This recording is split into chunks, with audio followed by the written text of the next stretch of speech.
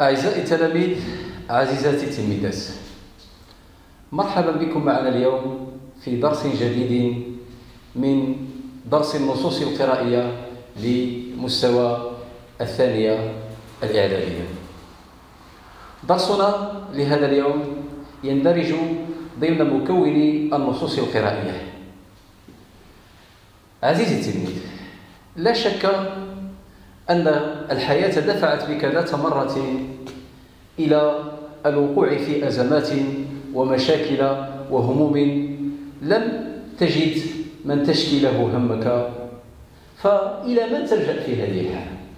قد يقول قائل قد ألجأ إلى أصدقائي أو قد ألجأ إلى الأم أو إلى الأب وقد يقول قائل سألجأ إلى الطبيعة لأشكو لها همي وهذا ما فعله شاعرنا الذي سنلتقي معه اليوم في هذا النص. إذا نصنا أعزائي التلاميذ هو بعنوان خواطر الغروب. وهذا النص كما تعلمون هو للشاعر إبراهيم ناجي.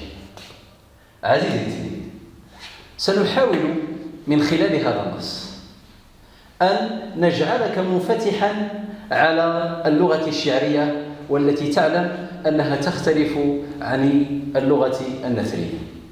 ثانيا سنحاول تنمية قدرتك على القراءة المنهجية للنص الشعري قراءة وفهما وتحليلا وتركيبا واستثمارا. كما سنحاول أيضا أن نجعلك متشبعا ببعض القيم الجمالية المتعلقة بعلاقة الذات بالحياة وعلاقتك بالناس وعلاقتك بالطبيعة كما نجد في نصنا لهذا اليوم. كما سنحاول أخيرا إغناء رصيدك اللغوي المتعلق بالمجال الفني الثقافي والذي يندرج ضمنه والذي يندرج آه، نصنا لهذا اليوم ضمنه.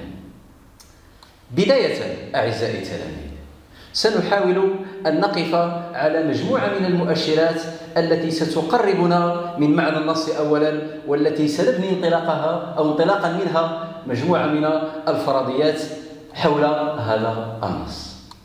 ولنبدأ أولا بملاحظة المؤشرات الخارجية لهذا النص. ولنبدأ بالمؤشر الأولي وهو صاحب النص. وصاحب النص كما تعلمون هو الشاعر المصري إبراهيم ناجي وهو شاعر مصري من مواليد عام 1898 ميلادية بالقاهرة. وكما تعلمون أعزائي التلاميذ هذا الشاعر هو أحد شعراء الاتجاه الرومانسي في الشعر العربي. وتعلمون كذلك أن هذا الاتجاه هو اتجاه متميز في الأدب العربي. وقد حاول كما تعلمون أعزائي التلاميذ رواد هذا الاتجاه أن يخلقوا نوعا من التجديد في الشعر العربي خاصة الشعر العمودي. فكما تعلمون أعزائي التلاميذ أن رواد هذا الاتجاه حاولوا أن يجددوا أولا في موضوع وموضوعات القصيدة. فلم تعد القصيدة العربية مع هؤلاء الشعراء تلك القصيدة التي تهتم فقط بالمدح والمواضيع التقليدية التي كانت معروفة عند أعضاء أو عند الشعراء الاتجاه السابق. إذا قلنا أن شاعرنا هذا هو أحد شعراء الاتجاه الرومانسي في الشعر العربي. ومن مؤلفاته نجد ليالي القاهرة وراء الغمام رسائل الحياة وكما تعلمون أعزائي التلاميذ أن شاعرنا هو مؤلف القصيدة التي غنتها كوكب الشرق أم كلثوم الأطلال. هذا الشاعر توفي سنة 1953 ميلادية.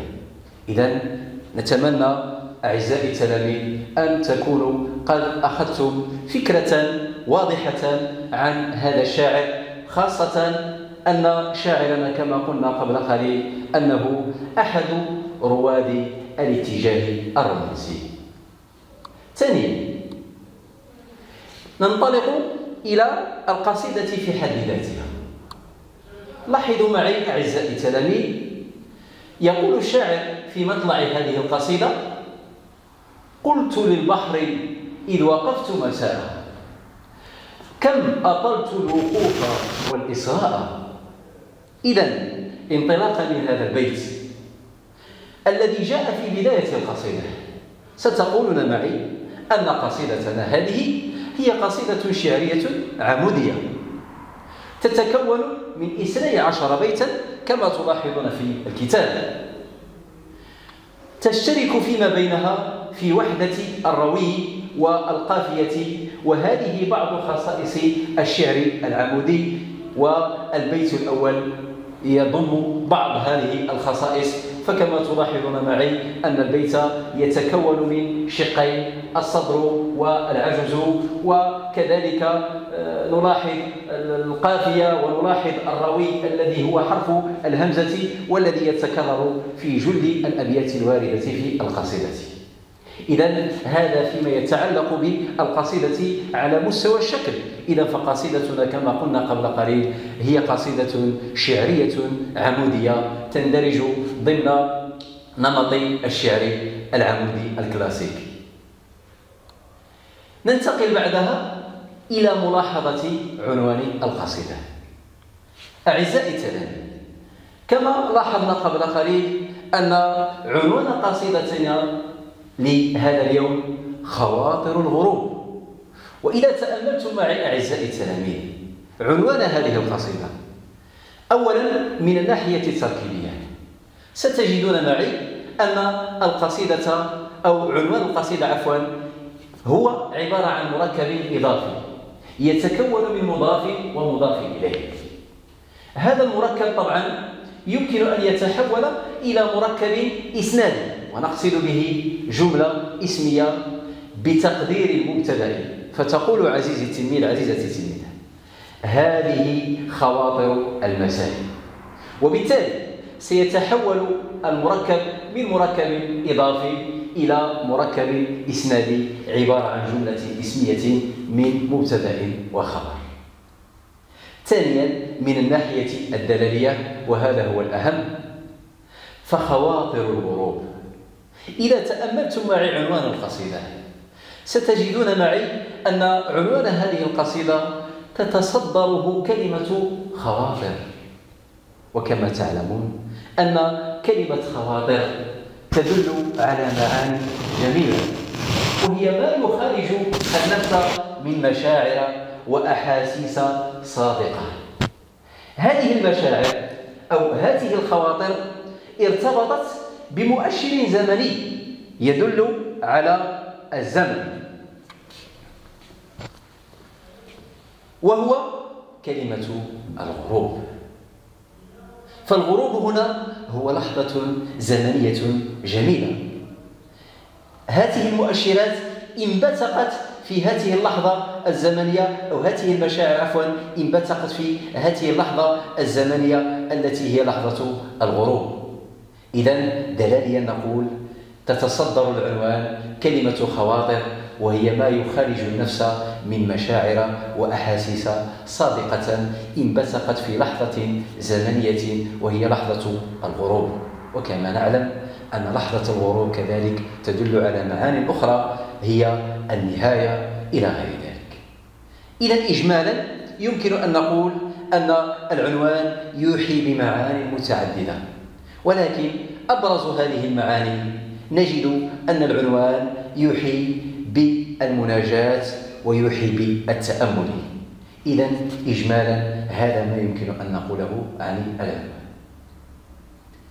رابعا ننتقل إلى مؤشر آخر وهو بداية النص ونهايته إذا تأملتم معي أعزائي التلاميذ بداية النص والتي يقول الشاعر في مطلعها قلت للبحر إذ وقفت مساء كم أطلت الوقوف والإسراء؟ لا شك عزيزي التلميذ عزيزتي التلميذة أنك ستفهم أن الشاعر في بداية القصيدة. يخاطب البحر في لحظة زمنية وهي المساء ويحاول إخباره بطول الوقوف والإصغاء لأمواجه. ويحاول أن ينسجم نفسيا مع هذه اللحظة الزمنية ومع البحر.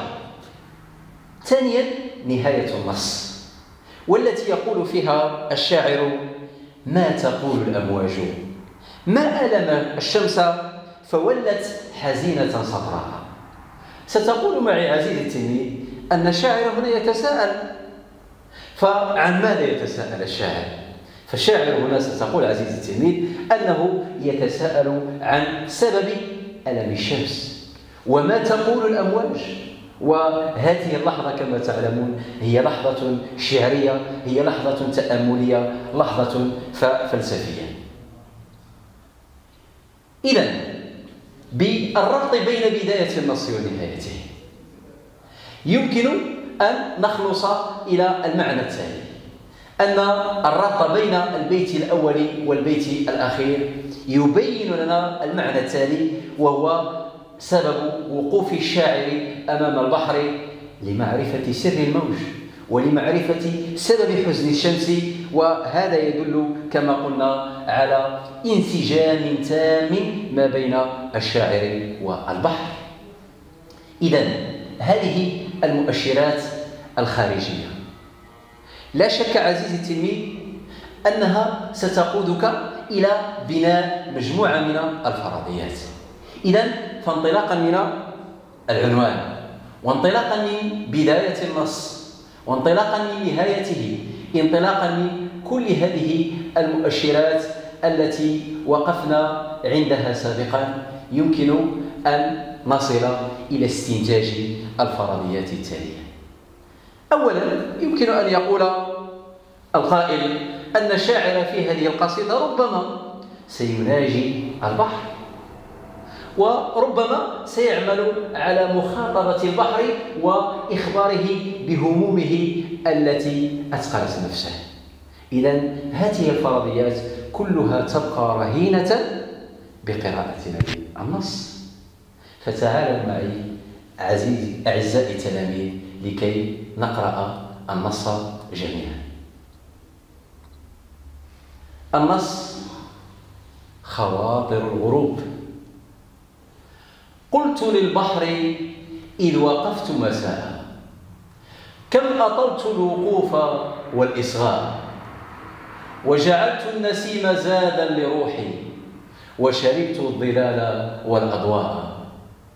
لكأن الأضواء مختلفات.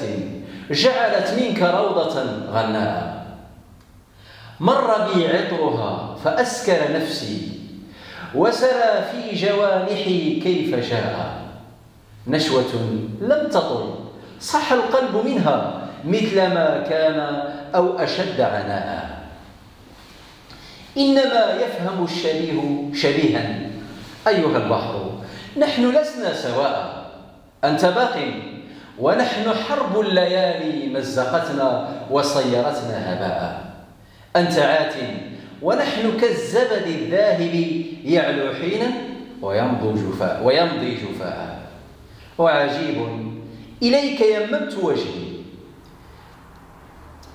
إذ مللت الحياة والأحياء. أبتغي عندك التأسي وما تملك ردا ولا تجيب نداء. كل يوم تساؤلا ليت شعري. من ينبي فيحسن الإنباء؟ ما تقول الأمواج؟ ما ألم الشمس؟ فولت حزينة صفراء. نعيد قراءة النص. خواطر الغروب. قلت للبحر إذ وقفت مساء كم أطلت الوقوف والإصغاء وجعلت النسيم زادا لروحي وشربت الظلال والأضواء. لكأن الأضواء مختلفات جعلت منك روضة غناء.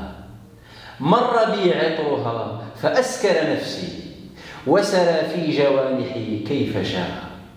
نشوة لم تطل صح القلب منها مثل ما كان أو أشد عناء. إنما يفهم الشبيه شبيها. أيها البحر نحن لسنا سواء. أنت باق ونحن حرب الليالي مزقتنا وصيرتنا هباء.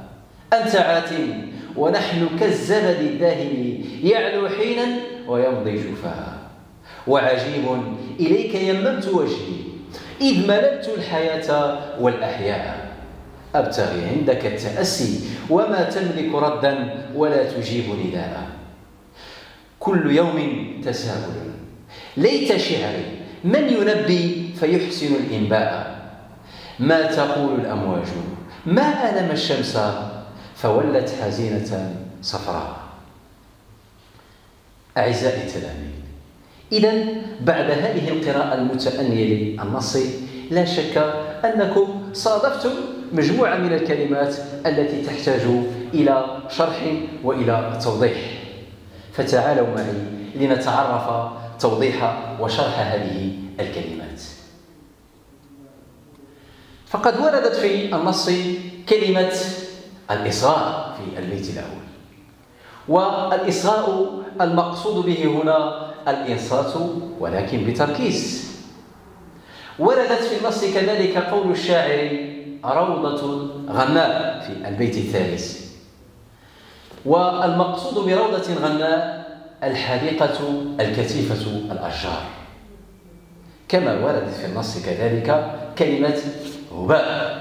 والمقصود بهباء هنا سدى أي بدون نفع.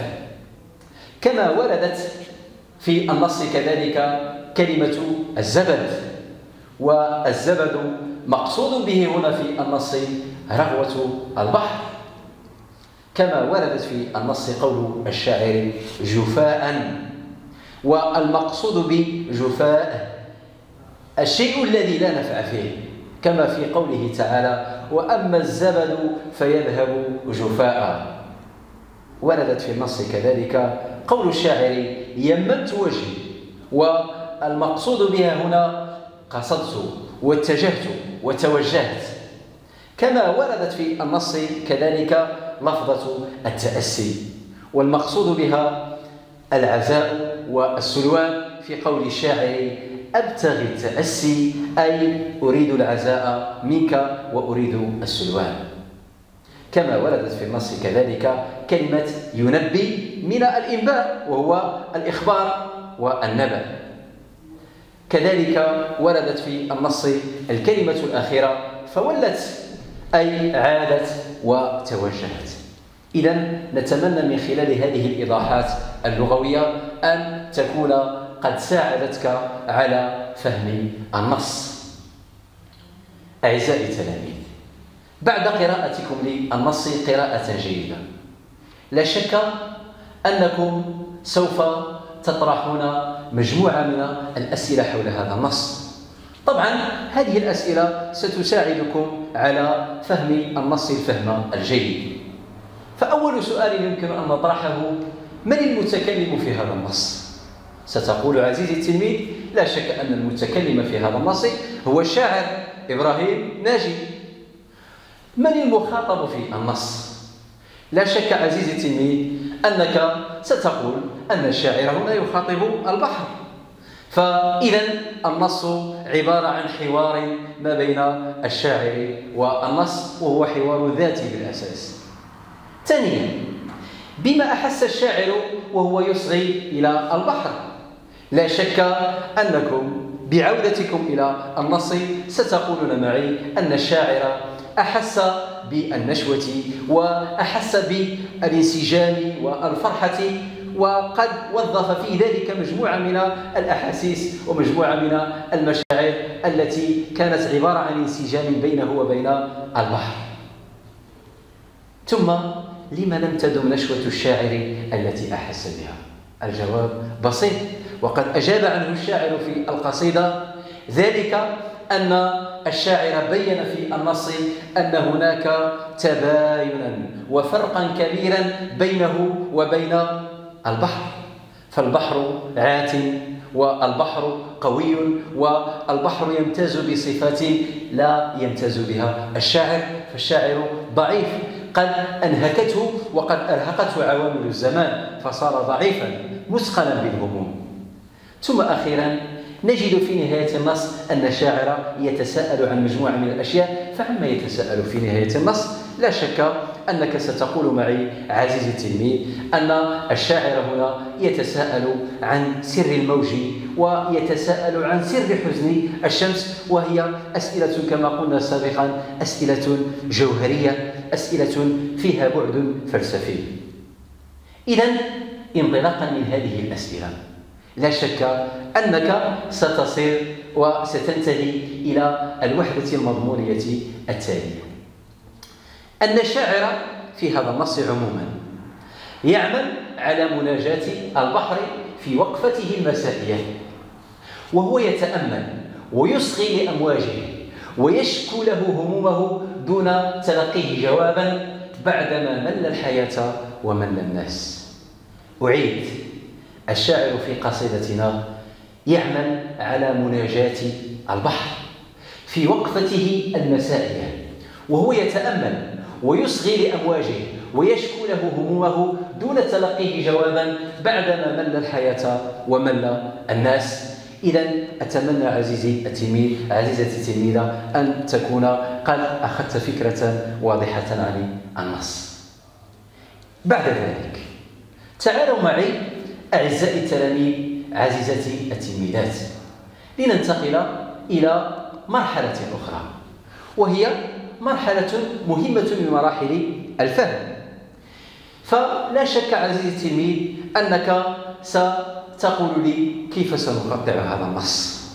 بما أن نصنا نص شعري فالنص الشعري عموما كما تعلمون نحن نعتمد في تقطيعه ليس على الفقرات فهو ليس نصا نثريا ولكن تقطيعنا للنص يعتمد على المعاني التي وردت في الأبيات. إذا لا شك عزيزي التلميذ عزيزتي التلميذة أنك ستعود إلى النص.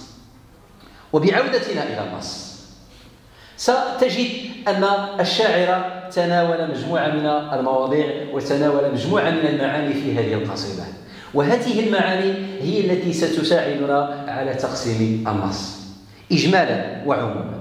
يمكن أن نقول أن الشاعر مر بثلاث مراحل معنوية في هذا النص. المرحلة الأولى تبتدئ من بداية النص إلى البيت الخامس. المرحلة الثانية تبتدئ من البيت السادس إلى البيت الثاني. المرحلة الأخيرة تنطلق من البيت التاسع إلى البيت الأخير. وبالتالي سيكون تقسيمنا للنص على الشكل التالي. لاحظ معي عزيزي التلميذ. الوحدة الأولى تنطلق من البيت الأول وإلى حدود البيت الخامس.